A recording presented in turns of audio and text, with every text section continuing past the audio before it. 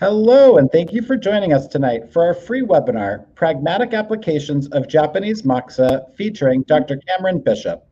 My name is Bloom, Education Marketing Manager here at Lhasa OMS.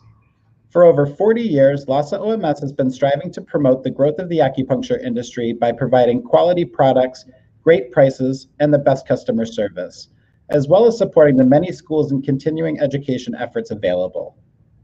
With our free webinar series, we intend to provide free educational opportunities taught by some of our industry's most renowned practitioners and educators. I would like to take a moment to acclimate you to the webinar room. To the right of the video screen, you will see three tabs, chat, questions, and polls. To chat with other attendees or to communicate any technical difficulties, please use the chat tab. For questions of the guest speaker, please use the questions tab to the right of the chat tab to assure that we see it during the Q&A, which will be done after the lecture.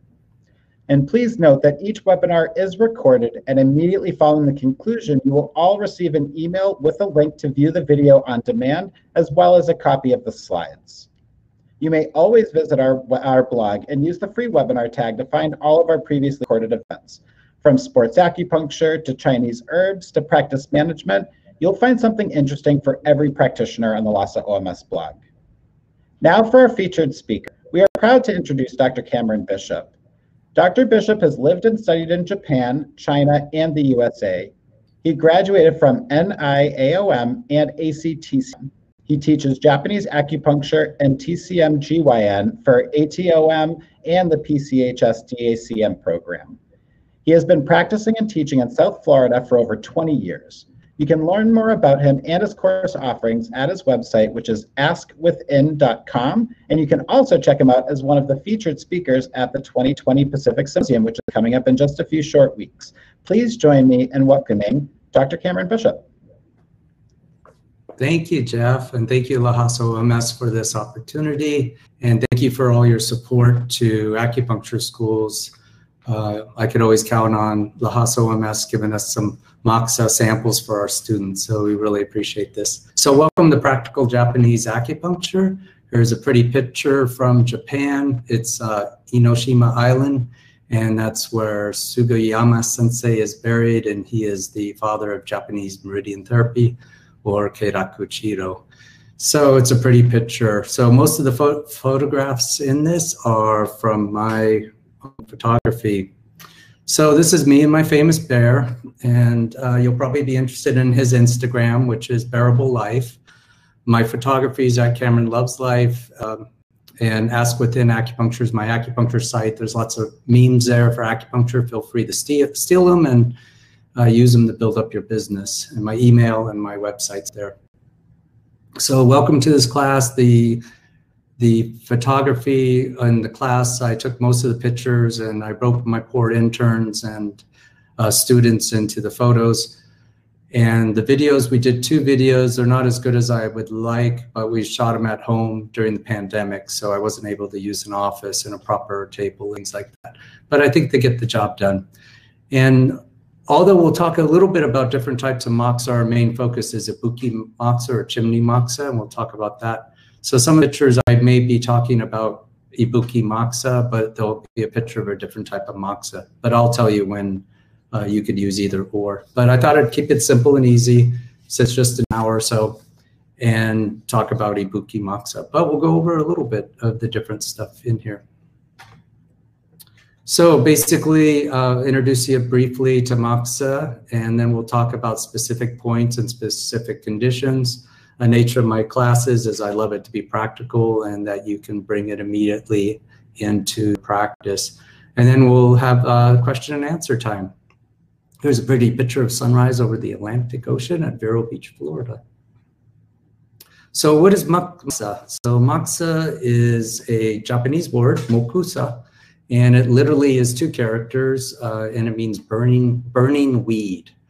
It's a punk or wool from the leaves of Artemisia vulgaris. It's commonly known as mugwort. It's in the daisy family. It has uh, there's uh, two to 400 different species in the daisy family. It's related to sage and wormwood. Traveled from missionaries all over the world, and families use it routinely in Japan. And actually, in Japan, you can get a separate license in Moxa use And most acupuncturists get that license or a family member does to help them. So it is a separate license, which is different from the United States. Also in pharmacies, you can buy it. And what's commonly sold in pharmacies is the Ibuki, which we'll talk about in a minute. So moxibustions feel they can treat anything, any condition. Research, if you research moxibustion, there's about uh, over 300, 360 different conditions it's known to treat in the research. But moxibustion feel you can treat any condition if you have the proper dosage of the moxa, the proper point location, and that could treat anything. So, for example, even something like night sweats or hot flashes, you if you do the right point in the right way, you could treat it. So how moxa works briefly, and there's a lot of research on it, is there's thermal effect, radiation effect, and pharmacological actions, but that's beyond the scope of this class. Here's a pretty picture I took in Japan. It's at a uh, conference in Japan. And I like this because it shows the different qualities of moxa. The lower right, if you can look closely, you'll see it has stems in it and pieces of leaves and things like that in it. So it's a lower quality and it's darker. And if you go to the upper left, that's a higher quality of moxa and that's used for more finer moxas. So the bottom right is the lowest going over and then the next section would be the far upper right, and then all the way over. So those are the two uh, various types of moxa. So the lower right one might be used in a moxa box or something like that, and it uh, might even be put into a pole. So uh, mokusa, there's uh, four different types we'll briefly talk about, and then we'll go into detail with uh, ibuki. So that's uh, choseikyu moxa. So the first one is Okyu Moxa. It's also known as Thread Moxa. The character is Okyu, which is Honorable Moxa. And the second one is Kyutoshin, which is Moxa and Needle. And the third one is Chinetsukyu. We commonly call it Cone Moxa, but the characters are Sense the Heat Moxa. And the last one is Ibuki, and we call that Chimney Moxa or Stick-on Moxa. So that's the easy one to use. So Okyu moxa or thread moxa is used on any point. It uh, is used in a, uh, you roll it with a case or something and or roll it between two cards. You can roll it with your thumb on a table. There's all kinds of things. And our focus it really isn't on this, but it can be used anywhere on the body. And uh, acupuncturists and moxibustions in Japan commonly use it So this is Kyutoshin, that's needle and moxa. It can be used anywhere on the body. This is being used for Morton's neuroma. So if you have a Morton's neuroma and you have enough web space and uh, space between the ligaments, it's very effective. But more commonly, it's used on like stomach 36 real deep for immune effects, uh, meaning you put the needle in deep. That's one technique, or you can use it on back shoot points or you can use it on trigger points. That's a pretty uh, useful one. Uh, a couple other good places it's for is um, REN points like REN 6, st uh, stomach 25, uh, REN 9, 10, or 12. And these points are used to build the constitution. But we could use the Buki for that too. So Chinetsukyu is cone moxa. And these, you use a little bit of uh, moxa, kakusa moxa, and it's in your notes what to use. And you can just basically kind of roll it and make a little cone. Different sizes are the dose. You can make it thick or thin. And I recommend if you're going to use that, use one at a time, light one at a time. Of course, you want to be ready with uh, your your um, tweezers or no fear to pick it up and a place to extinguish it. You want to be all ready. So definitely light one at a time for safety. Some people are using the leftovers and lighting them and putting them in the toilet and sitting down and putting a towel over themselves for moxa treatments for uh, their body. So that's a unique use of it. Generally, when you're using this, you let it light uh, burn about halfway down. There's a lot of different thoughts on that. Some people will take the pulse and wait for the pulse to improve and then take it off. Some people burn it down halfway. Some people feel if you let it burn down even farther, it's more dispersion. And if it's just kind of uh, a little bit, you're more of a tonification or supplement, supplementation technique. This can be used on most points in lieu of thread moxa. And also you can insert a needle and put this next to the needle to enhance the needle's act for pain or other things. It's also good for bruises. So if you bruise someone with a with a with a needle or they get a bruise for some other reason, on top of it helps disperse the bruise quicker.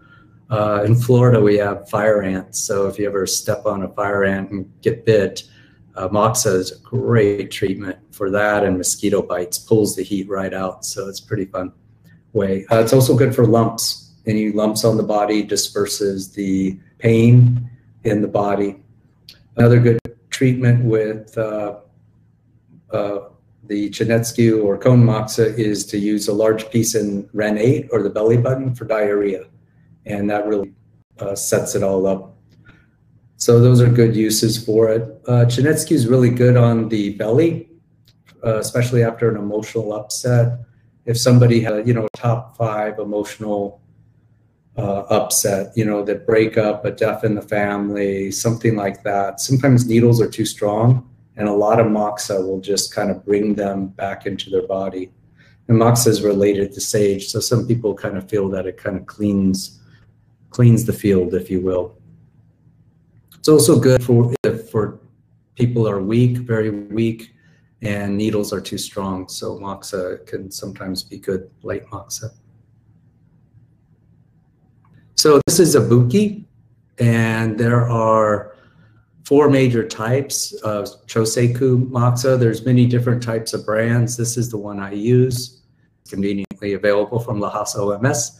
So there's light, regular, and soft and fruit. And I mostly use the uh, light and I use the soft. The fruit's kind of nice, has a different smell. And sometimes I use the regular. But the soft is very good for children and the face. And the light is safe to use with patients. I only use uh, regular if I'm doing it on the patient. And you might think of it as more dispersing. It just depends on how you use it. The bottom little thing is the Japanese, for that they call it uh, soft, softo, lighto, regular, and hardo.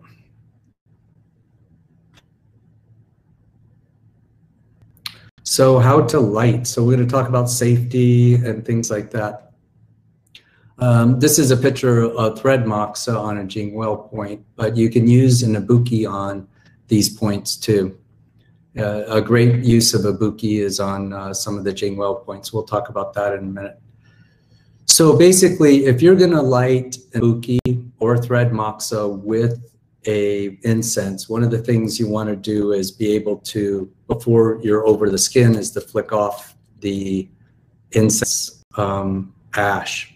So for safety, you don't want to do it over the patient because you don't want the moxa, the incense to break and fall on them, or you don't want the ash to fall on them. And then when you light it, the key is if this is the uh, ibuki, if this is the ibuki, or if this is the um, thread moxa or the cone, but when you light it with that, you want to roll your thing. So you're rolling the incense. If you do this, it'll stick to it and it'll go with you when you pull it off. So the key is to roll the moxa, roll it across and to light it. You can also use a lighter, but if you use a lighter, you need to tell the patient you're using a lighter because if all of a sudden they hear a lighter go off, they may jump, get scared, or something like that. And the other safety thing with a lighter, which I really use too much, is you don't point it to the person and light it. You light it away and then you bring it in. So that's what you do. But what I've been doing lately is an electric lighter. And these are really handy. You can get them uh, really easy and they charge with a cell phone charger and they're really safe and easy and they light things quick. So you also want to have your tweezers ready and water or however you're going to extinguish it. Another thing, uh, always we have to be careful in Florida's fans. We have fans overhead. You want your fans off and your air conditioner not blowing on that. So Jeffrey's going to show a short video on how to safely light in ibuki. For safety, some people light it off the body. If the angle is like this when you're putting it on the body, it's going to have less heat. But if it's sideways, it's going to have much more heat on the body. Angle. When you light it, you can light it any way.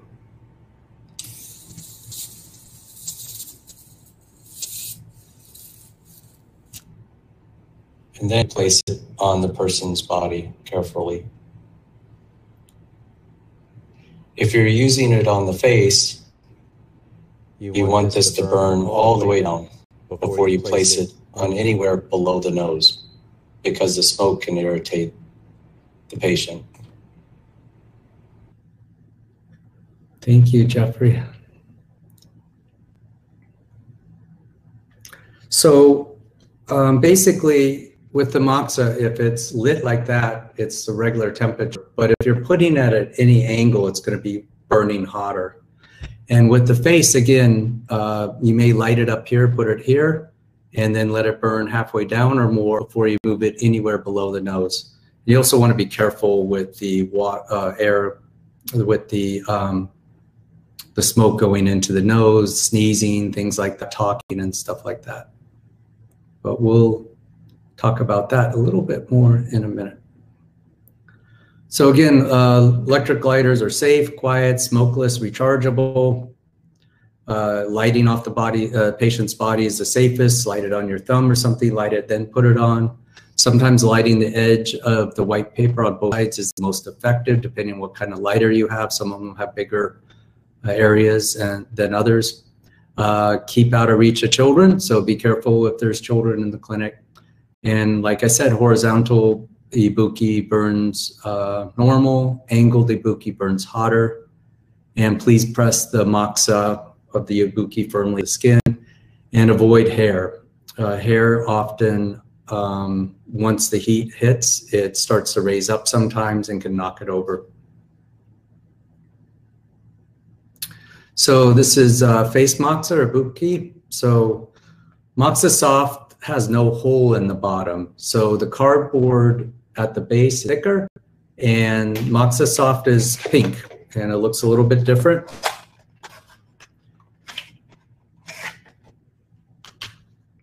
So it's got a bottom and the case, the base is much thicker. And also the other thing with it is if you tear this off, there's no hole. On this side, you can see a little hole, but there's no hole. So the Moxa can never directly touch the skin. Burning someone's face is bad for business. And knock on wood, haven't done it. So uh, the greater the angle, the hotter the moxa will be felt again. Use mostly burnt moxa below the nose. Smoke is, is diminished. And the smoke may cause a safety issue. Instruct a patient not to move. Uh, you could put towels on both sides of their head to help them to remember. Ask them not to talk. Ask them to raise their hand if they feel something too hot so they don't have to talk. And ibuki is easily easiest to remove by twisting it slowly. So if this is the ibuki and you twist it, there's the ibuki, twist it. Yes, I voted. So you twist it and then lift it off. That's the easiest way to get it off while other than trying to tuck it off like that. And again, moxa over hair may um, make the hair rise and topple the moxa. So I think we have a video for uh, Face Moxa. Go ahead, Pri. This is Moxa Soft. It's a little bit different from the regular Moxa. It has the pink sides, while regular has the over. It has a little more cardboard on the bottom, and it doesn't have a complete hole through it like the silver does which means the oxide never directly can touch the skin. To light, we basically put it on our fingertip or on a surface and light it. This is electrical lighter. Or we can do it on our fingertip.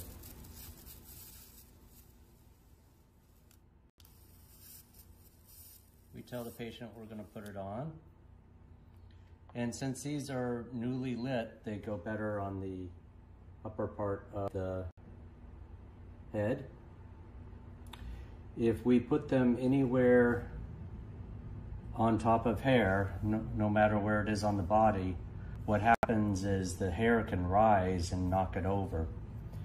This moxa here is on a flatter surface, so it will burn cooler. Any moxa on an angle like this or the side of the face will burn hotter, up to 15% hotter.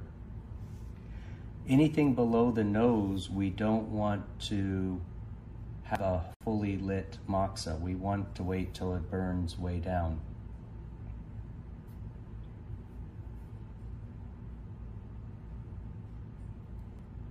To take the moxa off, we just simply twist it like that. And then we put it down. I like to use this little case, was for Sencha, and it works real well. I usually never put lit ones in like that, but I'm illustrating. This one is mostly burnt down and we can put it on the face now or the chin or somewhere else like that. We want to be careful because it can fall off easier, if particularly if the face has oil on it, and also it can annoy the patient's nose. The smoke can go up their nose and cause a sneeze or whatever else. If you have to, you may block it with this or with a moxa spoon so that the, the smoke is going not into their nose. Again, to get it off, you simply twist like this.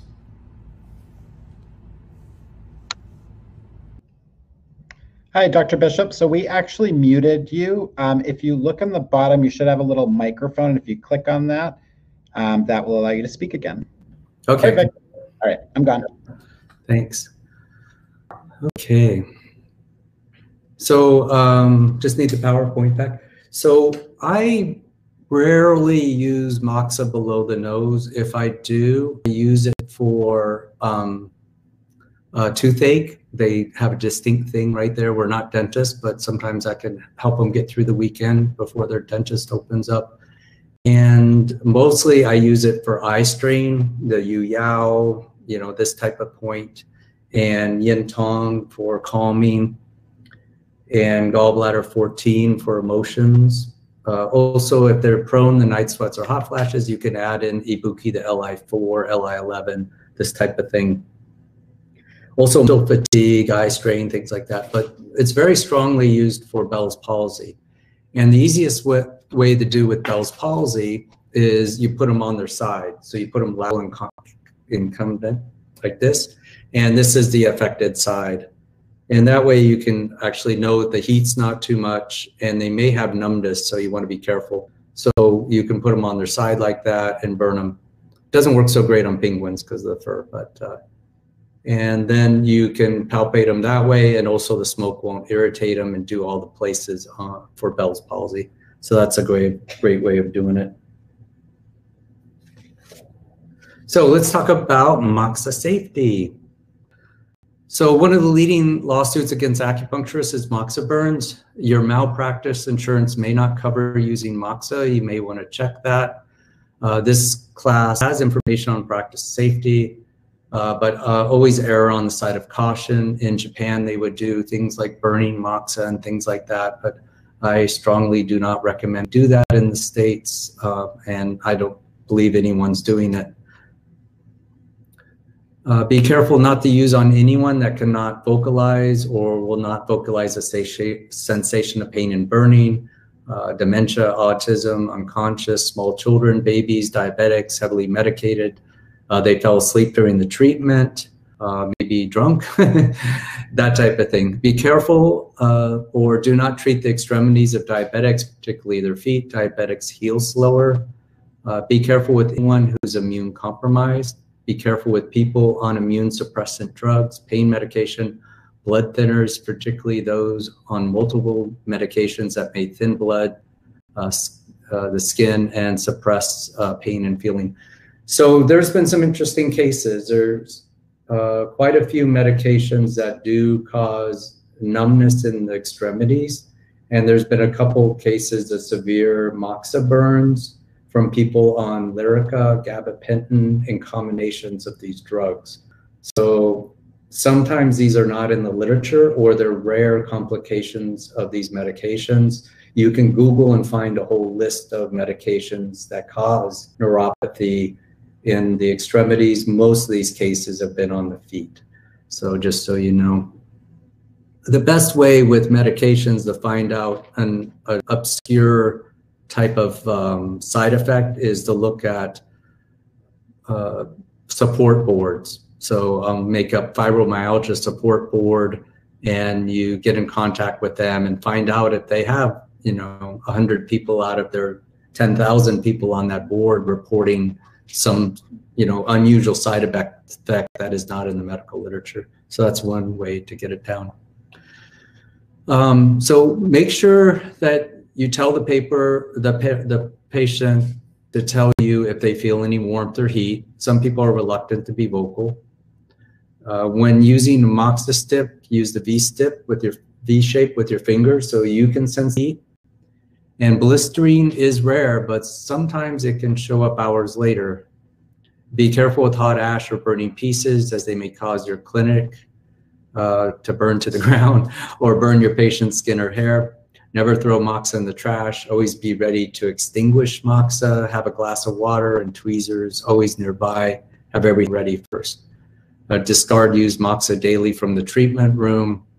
It's it's thought of in Japan. It's not it's not good uh, energy to keep around. So every day dump it. Um, doesn't flush well down the toilet, but it goes well in the garden. So, and again, some medications reduce sensitivity and the patient can report they are being burned and they may show uh, blisters later. So just always err on the side of caution.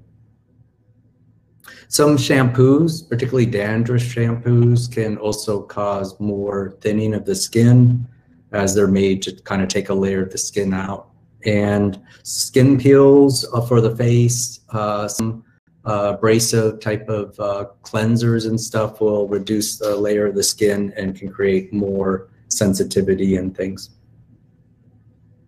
So at home, uh, if you're going to send patients home, I rarely do it. And if I do it, I know the person well. They're usually a massage therapist or have some type of hands-on experience. I don't really do this often, but I use the better um, Moxa poles if I do.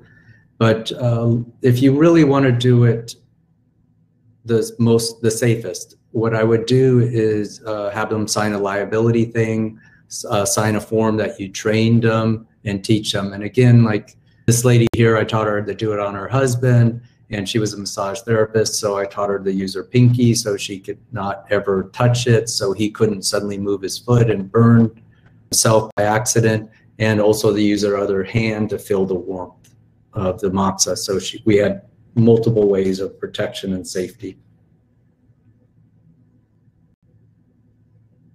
So more and more people, even though in Japan it's normal for an acupuncturist or moxibustionist to give moxa homework, go home, mark these points, do these every day. Uh, you want to do it at your own risk. Um, some people, because of telemedicine, are sending moxa to people and instructing them with ibuki what to do over the internet. So, you know, uh, not only the root treatments, but also symptom treatments or extraordinary vessel treatments. So, you know, that's that's how your comfort level at doing that.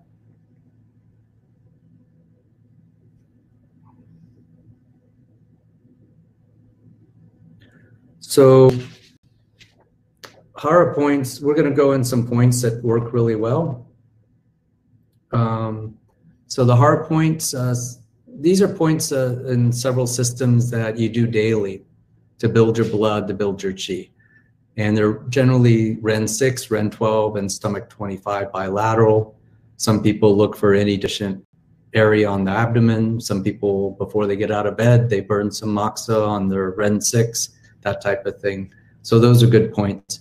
REN2 is a great point for a bladder and prostate problems. It's pretty much REN2 to that kidney 11 area. If you feel any um, uh, like hardness along the pubic bone, those are good points. You can use needle and moxa. You can use the ibuki.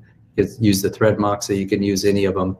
And as that hard spots soften, uh, the prostate problems will get better. Uh, bladder pro problems will uh, get better too. So kidney 13 is a major fertility point for cold uterus, irregular periods, and damps. It's another point you can moxa. Uh, emotional stabilizing points, we talked about a little bit earlier after a big shock and our emotional upset or grief um, for treatments that aren't going well. Uh, those are great points. And both basically, those are all the REN 6, REN 12, stomach 25 type of points.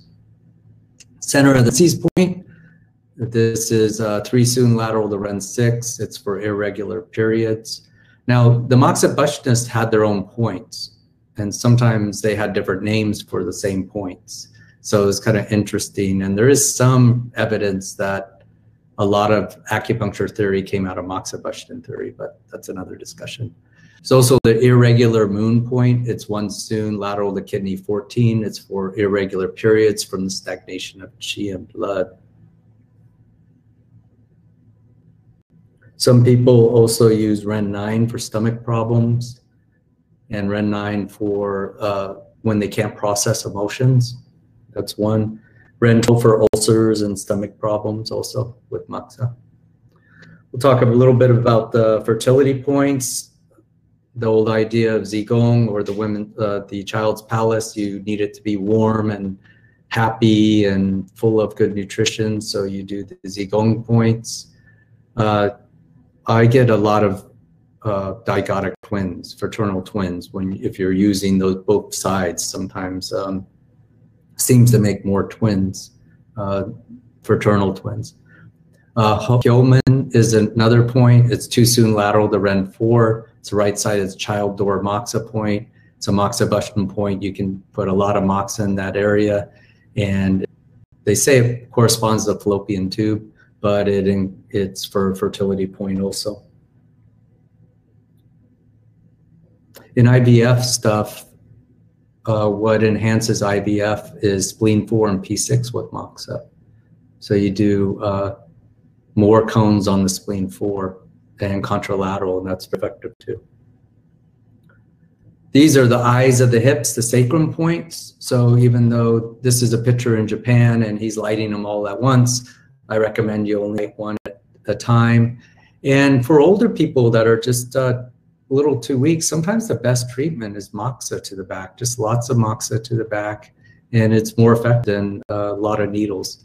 So it also brings chi to the area and you can see the creases come up, the deficient areas strengthen, and you know their back will get better. You can also go along the the Watawaji's points and find hard spots and release those. Releasing those is good for back pain, also fertility issues, and uh, constitution in general.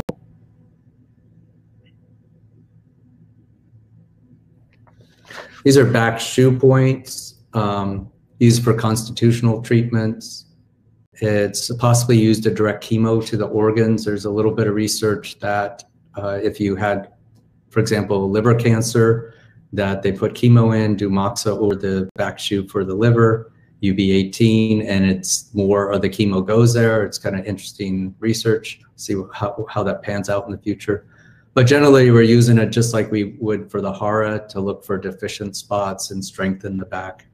It's used to build the chi and blood. It's used for pain, and it's used by theory um, or by just picking deficient points. Hip pain, this is Kyutoshin, but you could also use the Ibuki on there or other moxas. And this is a very effective on the greater trochanter. If you find the most tender spot or uh, spots on the IT band, you can uh, put the uh, mox in there. And this one is particularly very effective for that uh, bursitis pain. Uh, when you do, don't forget when you light the moxa, uh, if you're using needle moxa, light it from the bottom and of course, uh, the safest is to use the Ibuki, and you can also do kind of a surround the dragon on that tender spot too. And you can combine that with the low pain because usually, you know, they're going hand in hand. These are knee points. In the middle of the patella is the knee point, uh, the middle of the knee point, they call it. And it's uh, very effective for any type of knee pain.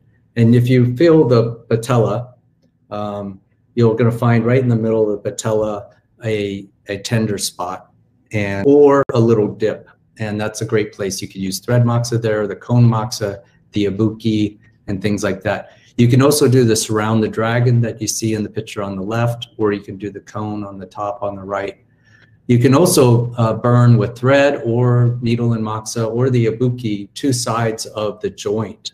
So it's going to be going both sides of the joint of the knee at the same time, and you light them at the same time, and the the, the uh, moxa uh, photo energy goes together inside the joint. So that's effective too.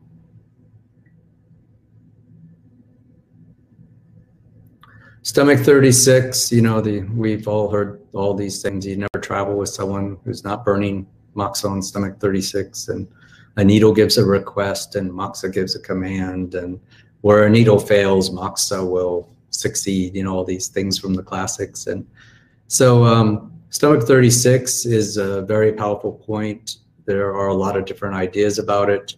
There are groups that do it daily. So it's one of the most important point for building blood for chemotherapy. I've had many patients where their blood counts aren't good enough for chemotherapy, and we do some moxa, a couple treatments row, and then their points, their blood counts are better, so they can get their chemotherapy. It's an important point, as we all know, for building energy, immunity, and anti-cancer. There's a lot of studies on it out in Asia. Uh, also, there's different ways of doing it some people will say seven cones daily. Some people will say do it after the new moon, do it for eight days. My uh, pandemic roommate and I or do the new moon moxa. So at the new moon, we start doing Ibuki moxa on stomach 36 and on wood, we've been fine. Uh, another way of doing it is to do a deep needle in moxa. So you put a needle in deep and then light a moxa and do that 10 days in a row. So it's another way to build your immunity. Kidney one is, of course, a famous point for many things. It brings the yang down from the from the head. It dispels wind. It's good for anxiety. It grounds the person. It's good for counterflow chi.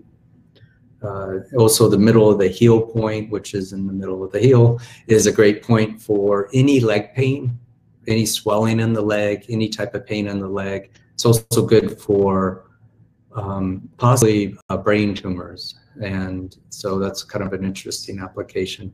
And it's also good for dampness and grounding the people. So using those joints often is just excellent for bringing someone down into the body and stuff. Also with stone bruises, we get a lot of uh, um, stone bruises on the beach. You're walking barefoot and you hit the stone and it bruises the bottom of your foot, and you can use moxa over that. It's very effective and much gentler than uh, needle. Also, depending on how thick the person's sole is, if they have office feet very soft, you can use a little bit of moxa. But if they're you know regular no shoe person, then uh, you might need bigger moxa more, burn down more to get the same effect. These are well points. Uh, they're traditional in Japanese locations. Um, so on the right, uh, we have our traditional location, but really basically you can use a tool to find the most tender point. And that could be the traditional point, or you can go more up the toe towards the foot, or you can go across to the middle and even on top of the big toe. Spleen one's great for menstrual bleeding, to stop it, macular bleeding, sugar cravings. If you have a patient with a lot of sugar craving problems, you can come home with the Ibuki, and that really helps. I would, I would recommend the Ibuki Soft, so no problems. It's a ghost point. I don't know if you remember in school that the whole thing, you did two big toes together and you put the moxa on the both spleen ones at the same time. So I don't plan on tying any of my toes, patients' toes together. But uh, it's good for anxiety, insomnia, bad dreams, nightmares, and th things like that. It's also effective for headaches. Liver one, we call the hangover point. Uh, it's good for hangovers. It gets the liver moving. Good for menstrual bleeding also, for emotional problems and headaches. Uh, I'm going to bounce up here for a second, go back. So two more points at the tip of these toes are the moving the liver moxa point. That's a famous point, but it also harmonizes the liver and spleen. And the other point to look for tenderness for some of the conditions I mentioned in the last slide. And the nausea points on the top of the stomach toe, the number two toe, and it's right middle between the two Ching-Well points. So that's uh, very good for nausea. So uh, Achilles point is found in the notch of the Achilles. Another way of finding it is to cup the hand on the heel and then where your finger drops will be there. But you can also feel along the Achilles and find a little notch there. That point's great for gynecological problems, headaches, and releases the neck. Also, if they have uh, Achilles tendonitis, you can use Moxa on both sides of the tendon, and uh, uh, that's very effective, especially if you find a really juicy little hard spot. On the right is uh, stomach 44, which is you traditional thing is you bend the toe over and find it. I find that's kind of useless, but I just feel for the most tender spot underneath there in that general area, and you'll find a little crunchy spot and put needles in there. It's for nausea, vertigo, uh, unilateral headache, but it's also famous for food poisoning, but you have to do a lot of it to be effective. Actually, the nausea point on top of the toe, the second toes, to be quicker and faster than that one, in my opinion.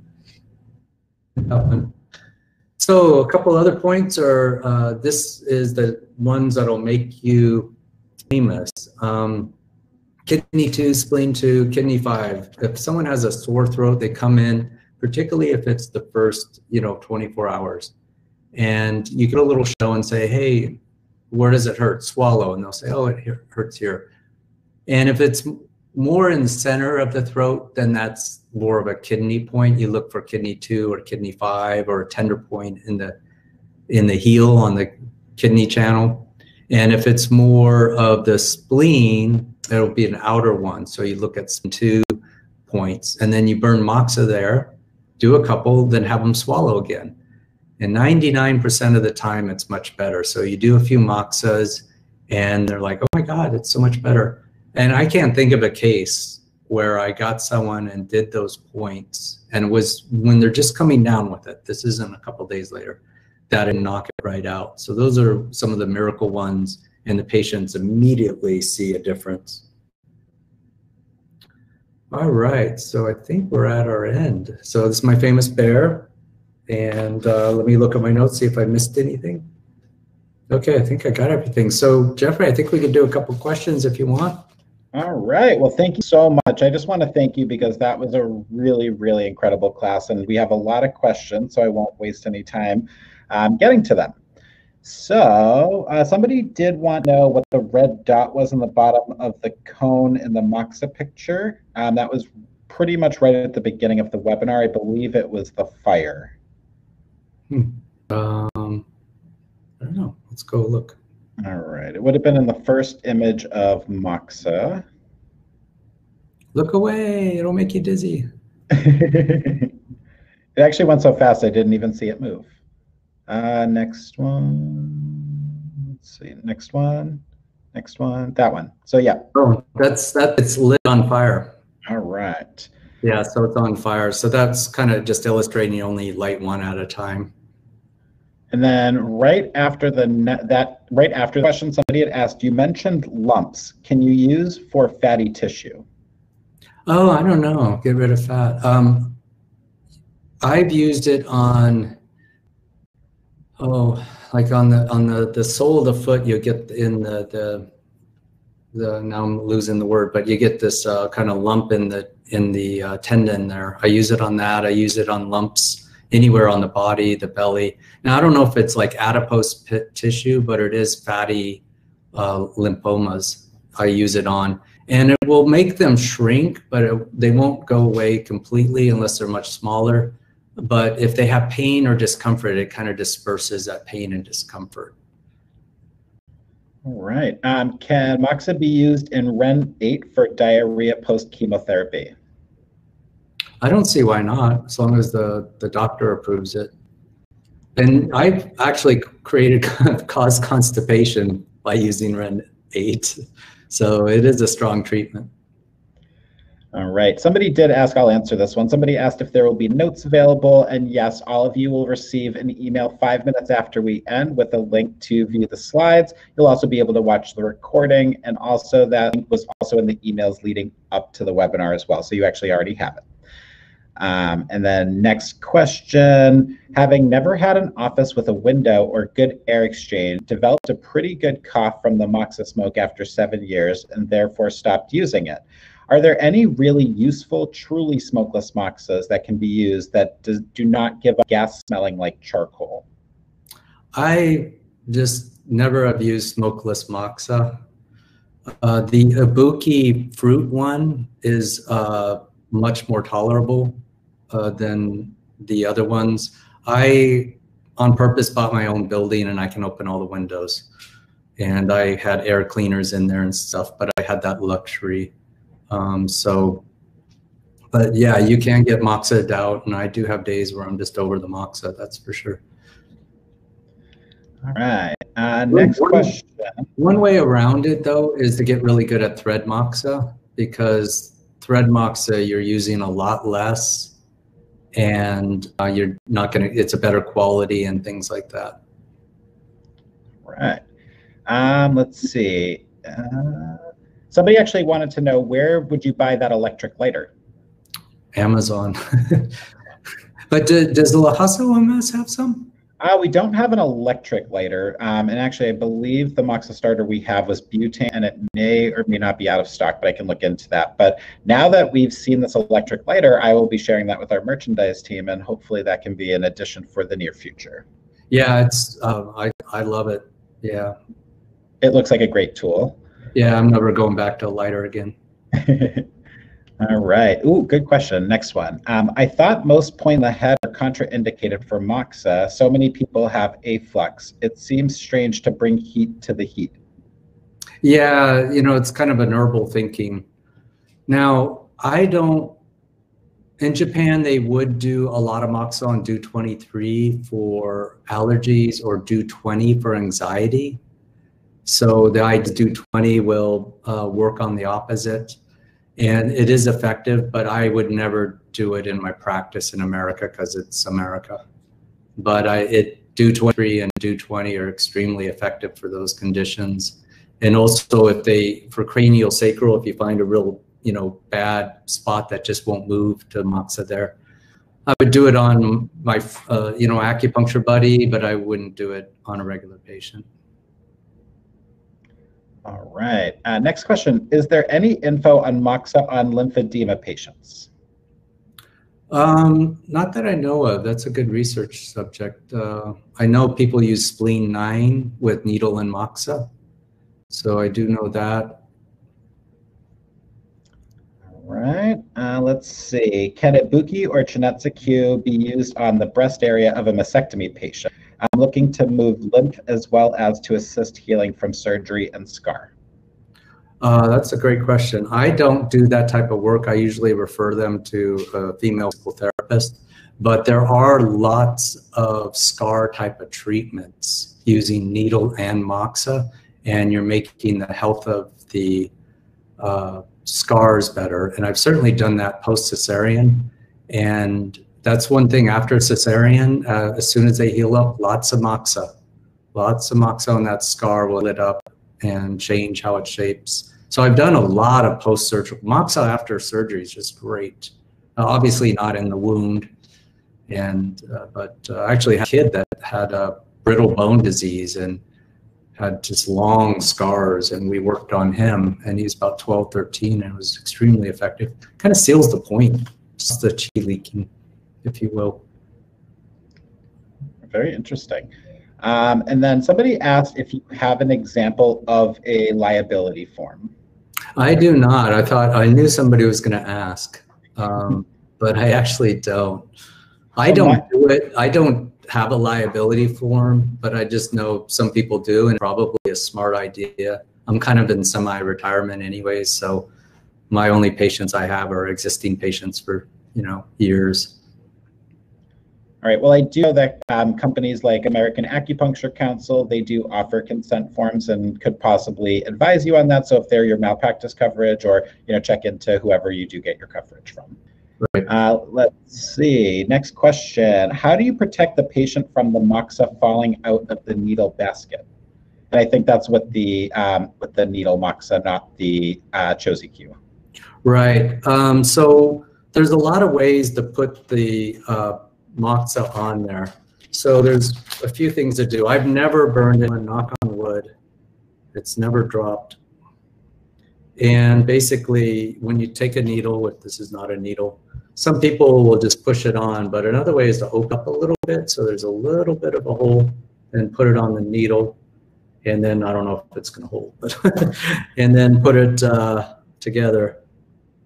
And um, I wasn't prepared for this. One thing is you don't want the, these things on the side. You want it perfectly round because you don't want those little pieces, but you test it.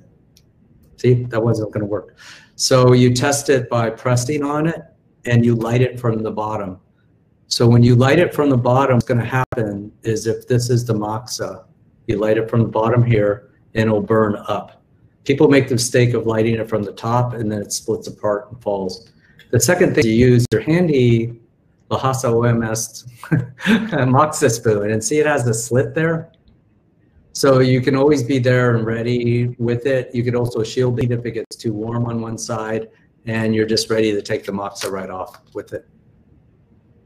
All so right. that's, what you can do impromptu. But basically, it's just being really mindful and and take and push. You know, having the needle deep enough, not at an angle. That it's at, not at an angle. It's up and down. You make sure it's very clump. You test it, light on the bottom, and then you have your moxa spoon ready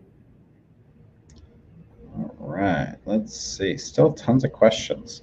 Um, so you mentioned using for prostate issues at R2. Does that include prostate cancer or would that be contraindicated? And would stomach 36 be okay during radiation? Yeah, I do stomach 36 uh, during uh, radiation for sure. REN2, I have I have a few cancer, uh, prostate cancer patients and there were unusual prostate cancers and the doctors said basically we have nothing but to observe you and to get regular scans and they had very strong deficient findings in their lower jiao, ren 2 ren 3 that kidney all through there uh, cold wet um, or cold and and just um, uh, depressed skin was flaccid, just, you know, not a good, strong chi there. So, you know, and I talked to these patients. I said, look, this is what I got, you know, and I explained explained it in our terms. And they said, well, I got no other option. So, you know, these guys are still alive five, seven years later. And all we did was moxa on the lower jiao and just the basic treatments you know, Miriam Lee points, LI4, you know, stomach 36, kidney 3, liver 3, just basic points. And their cancer just froze where it was and it didn't progress. All right. How you doing? Are you okay to answer a couple more questions? Yeah. All right. So we have more and they're all really good. Um, so somebody wanted to understand this kind of piggybacking on Helene's question about the smoke bothering her. Um, is there any research from Japan or elsewhere on the occupational hazards to moxibustionis? Not that I know of, but uh, I, I personally would never use the moxa poles in my clinic, and if I did, I'd use the Korean ones that Lhasa OMS does, the Huan 9. And I've always had a cleaner and the ability to open my windows. And I use very high quality moxa. I always use the Wakakusa for the cone moxa and I use the uh, Supure and then the Ibuki. And if I do moxa at home, I go outside on my balcony and stuff. All right. Uh, let's see. Do you recommend self-warming moxa for patients to use at home? I don't know. I don't know what that is. Okay, yeah, there used to be, we used to carry these products where you'd like almost shake them like those little heat packs that you'd put them in like your pockets. Mm. And then the, the shaking of it would, you know, activate the warming of it and it would warm up them inside the pack. I'm Right. guessing that's what she's referring to. Yeah, there's a Uh, lot of mechanisms with uh, moxa, but one of them is the the heat, the chemicals, and but you know, a hair dryer can work in a pinch, and uh, I've used that, you know, in a hotel room where you just kind of bring the hair dryer in and just get a little bit of a sting. Now, I don't know if that's smart to tell a patient to do that or to use on a patient, but in a pinch, you know, hair dryer can work. And actually, in Japan, you know, I've heard I've had students tell me that their, you know, Chinese grandfather would use cigarettes. Wow. And uh, use the cigarettes uh, close to the points, and and you know this is 80 years ago, but that's what they used. Interesting. I'm not recommending that. Yeah. Disclaimer. The Um, U.S. has a 75 year low of uh, smoking. 15% of Americans smoke right now. Same number that smoke marijuana too. Interesting. Use marijuana, I should say. Interesting. Um, let's see. Next question. How long does it take to burn an ibuki moxa if we were to burn three or five cones? I have been using pipe moxa, which takes about five minutes per stick. Oh, interesting. I don't know how long the ibuki is. Seems to be like a minute or less. Yeah, I never Right, thought to time it. Yeah, they do. They do burn down pretty quickly. And I mean, in the demo video that you showed, it was only about a minute long, and that burnt down pretty pretty far. Correct? Yeah. All right. Um, let's move on to the next question. Um, so the big cones are put directly on the skin. I have only done them over ginger slices. Do you only burn it halfway to avoid burning the patient? Right. There's a lot of different thinking of it. The the idiot's rule, if you will, is halfway down, and that might be more supplementing. If it goes a little bit more, and they can feel the heat, that's supplementing. But if it goes a little bit more and they really feel the heat, then that's dispersing. Uh, but you have to be in touch with your patient. I feel the pulse a lot of times, and as it goes down, the pulse improves, and then I take it off then. So there's different ideas and thoughts on it. I kind of personally I feel it in my hara. I just oh that's the right amount. So I can't really explain that, but that's what's happened in my old age. All right. Oh, Um, another, another thing, sorry, Jeffrey, is that uh, some people use shiunko, which is like a, a herbal paste on there, and then put the moxa on. And I don't really use that too much. I use Traumeel. Uh, I put it on the back of my hand, and I just touch it, and then put it down, and then put the mox on. It's quicker, and I also um, it doesn't have a smell. It doesn't stain. Some of these uh, products stain, but the Topricin or Traumeel or one of those things is very uh, easy to use. Some people use coffee, and coffee is a pain poultice, usually traditionally coffee grounds. So they use coffee on the water, on a little bit on the skin, then put the mox on. Interesting. We, I think everybody here is learning a lot tonight. Um, let's see. Next question. Have you ever used the Premio 10 electric moxa warmer? And if you have, can you speak to it at all? I have not. The only time I got electric moxa was in Japan with my buddy and I. And I just said to the acupuncturist, I said, Yeah, we were walking all day long. We are hiking in the mountains. And he goes, You need denki moxa on, on your feet. And he, they just, he used it because, well, actually, he was blind. So his sister used it and she didn't like the smell of moxa. So they used electric moxa and it looked like a glue and they stuck on the bottoms of her feet till we screamed itai, which meant it hurts.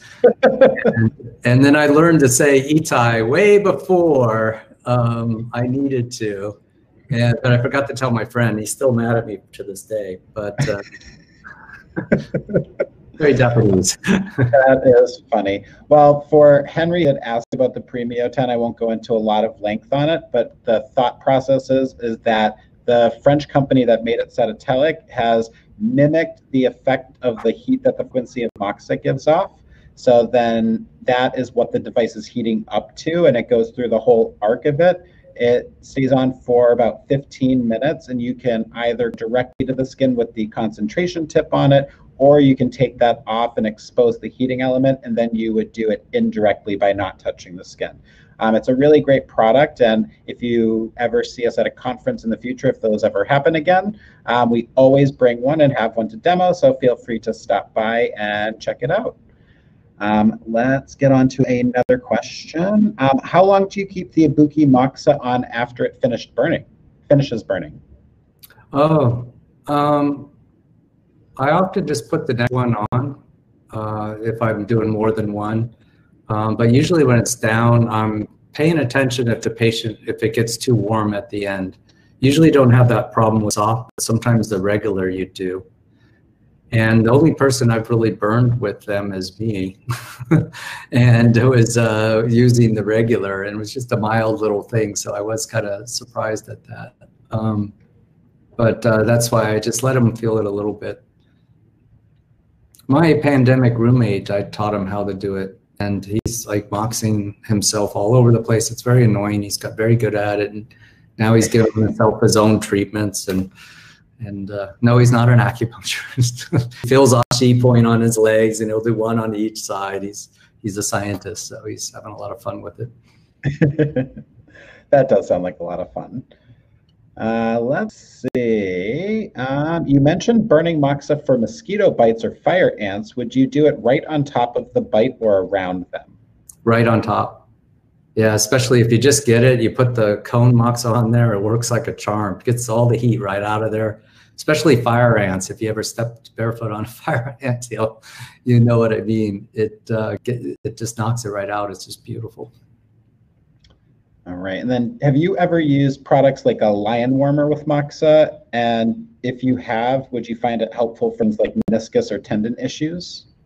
I have, but it's been a long time. I'm getting lazy in my old days.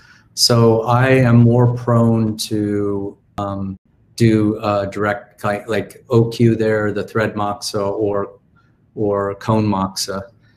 Uh, but the lion warmers can be pretty cool, and I know some people are using them with lymph drainage techniques, and they put a sheet over the person and then run the lion uh, warmer type of thing over it, and for they're kind of com com combining the lymph drainage technique with that. I'm sure somebody's got a class in that somewhere sometime. All right, and I just want to check in with you. How are you doing on time? Because we we just keep getting more and more questions. They are coming in fast and furious. Oh, I got some more time if you do. I absolutely do. Uh, let's keep going then. Uh, do you have any suggested points for constipation, which I think we also talked about at one point? Uh, triple burner six is a good point for that. And I usually do, I feel along the uh, colon, ascending and descending colon. So particularly the descending colon, uh, stomach, you know, 25, 26, 27, 28. If you find some heavy points, I'll put a, you can put a needle and mox in there, particularly if it's uh, cold type of uh, related constipation. All right. Um, do you have an opinion of Junji Mizutani's bamboo tube moxibustion. Oh, you know, I love Junji. He's a great teacher. I like him a lot. Um, thank God for him and Najom. They translate a lot of the stuff. Him and Stephen Brown, they translate a lot of the stuff, and all those guys up there for. And if join Najom, N A J O M, and I think it's najom.ca, and get their publication. There's just real gems in there. So yeah, I don't know how to do it. I've read the books. I'm a little too lazy at this point to do it. So. All right. Um, do you have any opinions on liquid moxa usage? Uh, I don't use it much because it stains, and then so I don't use it too much. Uh, very little. I've I've messed with some of them, and using it as the base and then putting mox on does have a stronger effect but I just had problems with staining clothes, staining my clothes, things like that. So those sound like you know fair things to not love. Yeah. Um, right. Next one is where best to moxa for weak or failing kidneys. I've had, uh, you know, what you think? Kidney three, UB23. I've had some people with those issues, and those points work like a charm. But basically, anything where you find if they are um, in the prone position, you see holes in their, you know, down the spine, like wrinkles or anything like that, is to strengthen them, have them pop up. So definitely just what you would think basic theory, kidney three, Ren three, um, back shu points, things like that. Right. Uh, next question. Can moxa be used to induce labor when appropriate? Oh, good question. I've never used it. I've used um, uh, when I induce, and we're not supposed to use that word. I've I've used a lot of uh, Claudia Citkovitz's work, uh, which is e-stim on the Baliao points and things like that. So I haven't ever tried Moxa for any of that. All right. And then speaking of trying to heal the scar, do you put the Moxa on the top of the scar or around it? Oh, it depends. So it depends on the scar. I should really put a class together on scars. Is um, it depends on what it looks like. If there, if it's not healing right, then I'm usually on the side. Usually you'll find a spot, and, and if you go on the scar, sometimes you can even feel a little vapor coming up. And they call that manual thermal diagnosis. And they use it in other medicines, Western medicine, osteopathic, and things like that. But you can actually feel something going on there. And that's where I put the moxicone. And basically, you want the scar to look healthier. And if one area is too tight, you could put a little needle in, loosen it.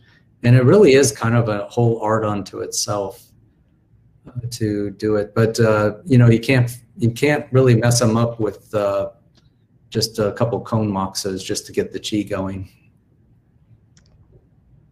Right. And then would you do pure moxa for post C-section or do you do a combination of needle and moxa? Where would you apply them? I, I would use cone moxa and I would do it along this, uh, not on the scar, but on the above it and below it I can. You're just warming the area, or you're just putting chi into the area. Okay, and then do you, or what kind of moxa do you use on babies? And is moxa recommended in Japan for children that young? Uh, some, but not much. And the, if you're using the Ibuki, you're using the soft for uh, for kids. And uh, I've never done it on babies. The youngest I've done is, you know, probably six or seven years old or something like that. You don't need a lot but there are styles in Japan where they do moxa on on little kids. It's more cultural that way and things like that. And most of the kids have been like one cone on Ren 6 or Ren 12 or uh, UB23 for bedwetters. Uh, that works really great. I mean, just like our two treatments and their bedwetting is gone. And also Ren 3 for bedwetting. That works real well. Uh, I had a, uh, a boy with uh, uh, anemia, um, sickle cell anemia, and of course we can't fix that, but we got his body, you know, working in the upper ranges where he went from lethargic, no energy to good energy, you know, for that condition. You know, he wasn't going to run track or anything, but uh, his numbers all went up. Great for viral loads with HIV patients, for any blood thing. If you do Moxa, the sooner you do it, and it's cumulative. You know, each time you do it, you keep doing it, it gets stronger and stronger. So it's it's a beautiful thing. All right, we're getting close. We only have a few more questions left. Um, any recommendations for osteo? I'm sorry, osteoarthritis of the fingers and hands? So there's a genetic component to that, and you're. What I usually see when it's getting really bad on the stage is you're just getting more function out of it, more movement, uh, easier. Some, you know, the fingers are not going to transform to 20 years ago, but sometimes you'll get uh, they just not less achy in the morning and things like that. Uh, I also use like there's uh, um, herbal foot soaks, but I use them for the hands. So uh, just the same soaks you would use for herbal foot soaks, mugwort. Um, there's mugwort soaks. You can have them put their hands in, and that's really effective. All right. You mentioned the middle of the heel point for brain tumors. Is there any research on Moxa being effective effective in the treatment of brain tumors? Uh, no, that that's it's one of the microsystems that are uh, um, uh, what do you call it? You see the whole body in one part. So you know what I'm saying. So uh, the use it. You see it in some of the uh, balance systems and things like that. And I don't know the chicken and egg who had it first, or it's just an idea that everyone had, or you know, floated around. But uh, they used needling in the heel for, and I've only heard anecdotal things from other acupuncturists. Um, but uh, some people were doing moxa in the area. I'm very hesitant to do needles in the bottoms of the feet. I'll just do a lot of moxa if I have to.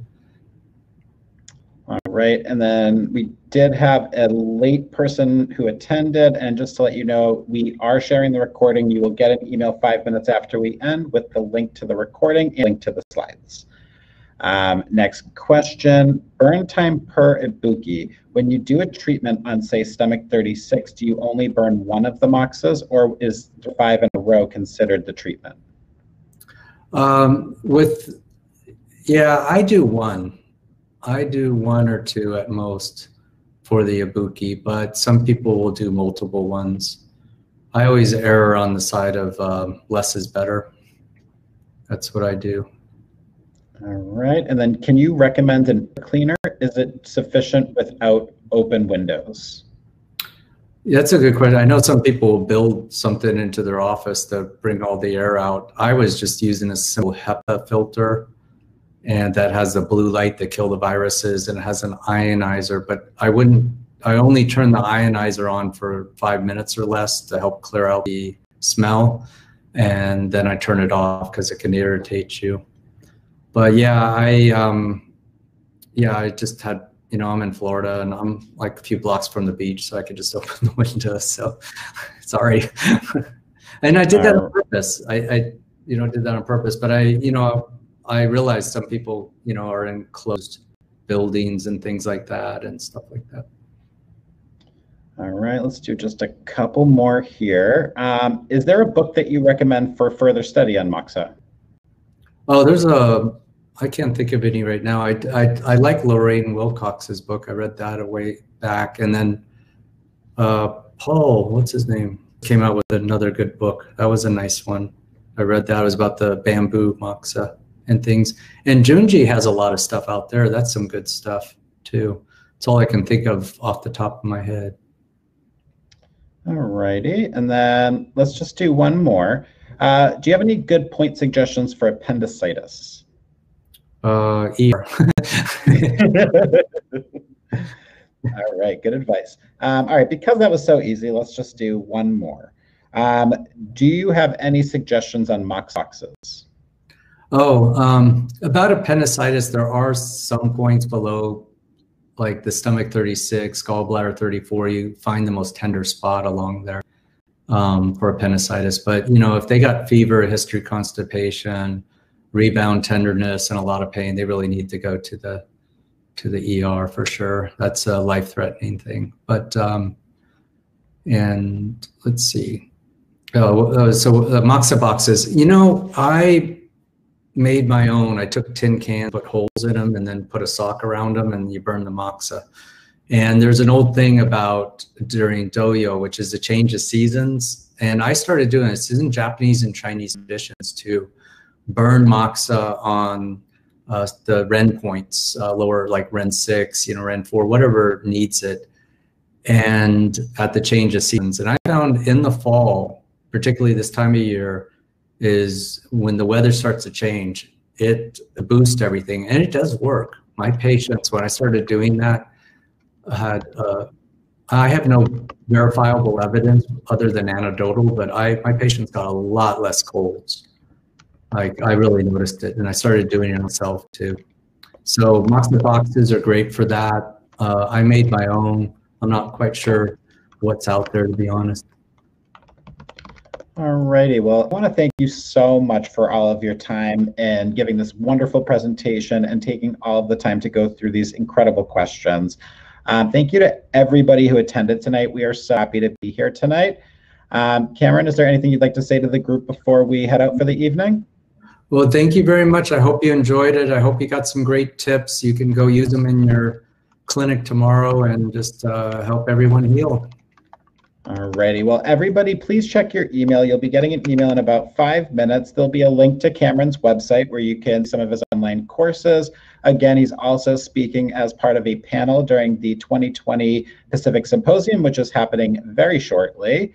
Um, we have a webinar happening next week on Tuesday, and it is Quarantine Schmorantine, How I Thrived When COVID Closed My Doors. It is going to be really fun and just, you know, hearing some upbeat story on how they tackled the pandemic. So thank you to everyone who attended tonight. Check your email five minutes after for the link and for the slides. Also, Prime Deals is happening at Lhasa OMS right now. So we are offering 15% off all orders plus free shipping on orders over $50. And that's going to be running from today until the 23rd. Um, also, um, Moxa is on sale for the entire month. So we will have Moxa on sale until the 31st of October. So everyone have a great night. Hope to see you next week. And thank you, Dr. Bishop, for an amazing presentation. Thank you. Thanks, everyone.